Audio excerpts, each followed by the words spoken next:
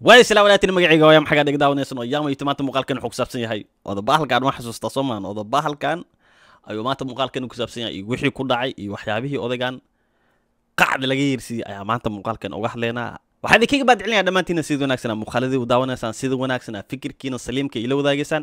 Haddii aad weli kanaalkeyga subscribe saar waxaa ku leeyahay subscribe dheh daawasha wacan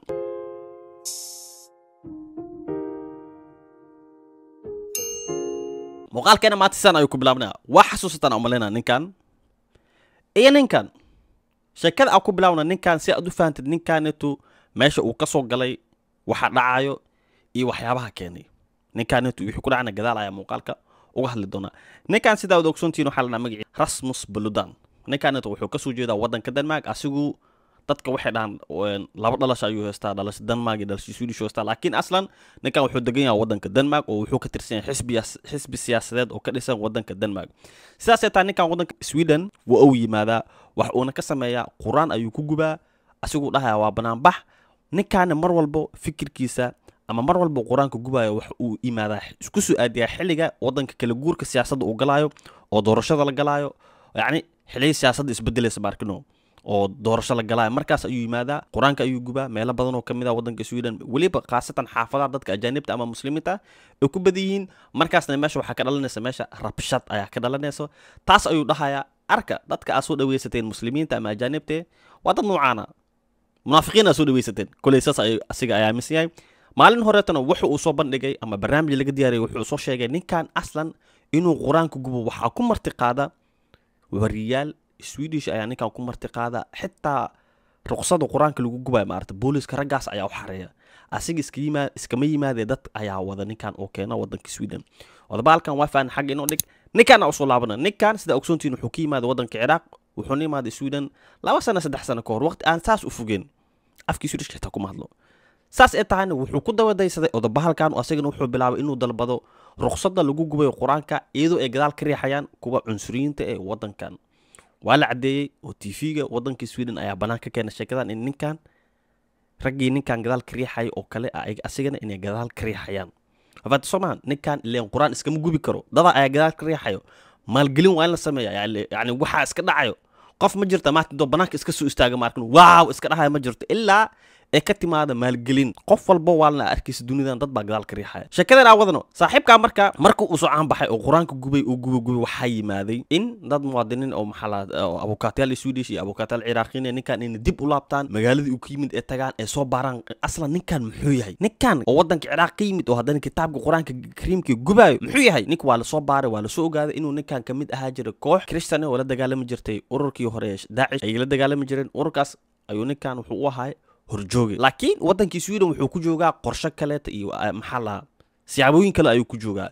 Wixii waxaa loo soo gudbiyey migrationka waddanka sweden migrationka waxaa lahaa ninkaneetu sidaan ayuu waddankan ku joogaa sidaana waddankiisa ayuu ahay oo been ayuu u sheegay hay'adaha waddanka sweden sidaas darteed migrationka wuxuu ku bilaabay dembi baaris ama baaris ayuu ku sameeyey yani waxaan la sheegayay abukaatayaashan soo gudbiyeen iyo ninkan waxa uu sheeganay ma sax mase waa wixii waa la isbardhigay waxaana soo caddaatay raggan abukaatayaasha wixii ay sheegayaan inay saxta oo ninkanet ururkaasi horjoogu u ahay meeshaasna uu ka yimid saas darteeda migrationka wuxuu dhahay waa ka soo waa ka soo fikirayna inaan ninkanetu a ku samayn doono maxaa la dhahaa ii sheeg inaa sharci kala noqon doono iyo in kaleeto bishii julaay isla labaatanka waxaa dhacday in dowladda ciraaq ee soo dalbatay ninkan in loo soo gacangeliyo oo asigoo waddanka ciraaq ka maqan ayaaba dhalashada ciraaq lagala noqday xitaa waxaa umaleynaa in lagu xukumay dil toogasho ah umaleynaa laakiin dowladda sweden way iska meermeerinaysay safaaradahana waa la kala qaatay oo dowladda sweden isdabaalis ayay gashay.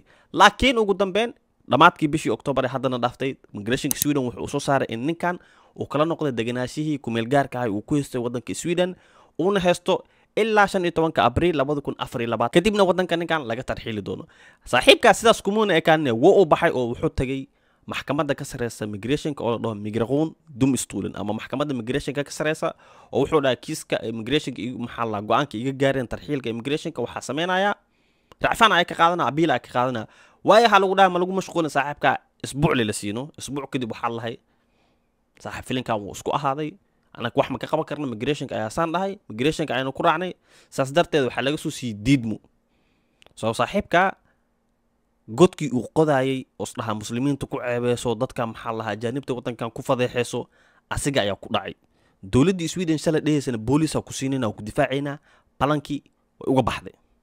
Oo meel cidla ayuu soo istaagay. Marka saaxiibkaa maxaa la gudboon? Saaxiibkaa waxaa la gudboon ani fikirkeyga laba mid ayaa la gudboon. Inuu waddanka iskaga tago oo yurubta kale aado. Yurubta kale hadduu aado kuley muslimiintana ma ka kuley gacanqaad uu imaanaa. Ama in waddankiisa hooyo oo u noqdo oo dowladda ciraaq uu dib iskugu dhiibo. Dowladda ciraaq sida ay ka yeeli lahayd iyaday u taala ama ha toogato ama ha cafiso. Waa fat soomaan ama ha toogato ama cafiso. Soo marka gunaanadka sheeke maxaa la muuqaalkeena maanta waxaa ku soo xirayaa dad badanoo waxaa jira soomaali eh oo mararka qaar diinta u gafa. Ku xisaabtan soomaaliya saan masi ahaanaysa baraada soomaaliya maalinkeen maxaa awood yeelato? Way ku soo dalban doontaa. Haddii aadan maxaa wadanka aad degantaha deganaasha ama muwaadin aadan kale ahayn haddii lagu soo dalbada wadanka aad degantahan wuu ku dhiibayaa dowladdana saa rabta ayay kaa yeelaysaa.